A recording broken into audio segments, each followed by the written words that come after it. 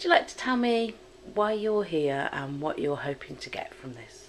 I'm here because I'm interested in personal care and I'd like to get a better career out of it and it's something I want to make of my future and I feel being here is a better opportunity for me to reach my goals.